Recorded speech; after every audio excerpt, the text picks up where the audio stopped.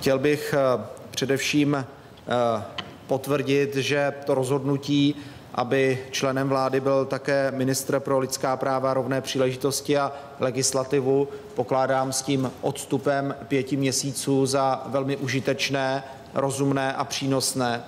Pokládám za důležité, že přímo ve vládě je člověk, který nejenom se vyjadřuje za legislativní radu vlády, eh, za vládní legislativu, ale že tam také člověk, který je schopen eh, se spolu podílet na plnění celé řadě programových úkolů vlády, které souvisí s otázkou lidských práv a které souvisí s naplňováním rovných eh, příležitostí. My jsme dnes s panem ministrem Nicbírem logicky začali tu naši diskuzi hodnocením plnění legislativního plánu vlády.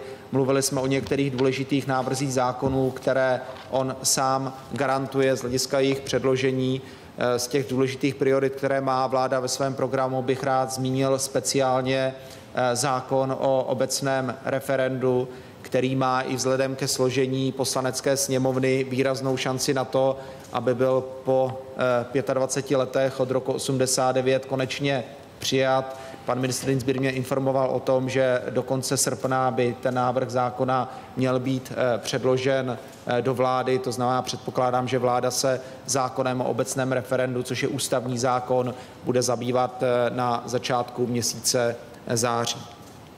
Přirozeně jsme také dnes s panem ministrem diskutovali o oblasti připravovaného služebního zákona. Já bych tady rád poděkoval jak panu ministrovi, tak jeho spolupracovníkům za výražné angažmá při přípravě eh, novely zákona o státní službě. Pan ministr Dinsbír dostal od vlády a od vládní koalice velmi obtížný a nesmírně důležitý úkol. Na to předložení měla nová vláda rekordně krátký čas eh, pěti měsíců a vzhledem k tomu, že minulé vlády, ve kterých byla ODS a TOP 09, celou věc dramatickým způsobem zanedbali, eh, podcenili a ignorovali, ignorovali ji sedm let, tak za těch pět měsíců se podle mého názoru podařilo najít rozumné řešení, které nám umožní, abychom eh, nenabrali další spoždění z hlediska čerpání prostředků z Evropské unie.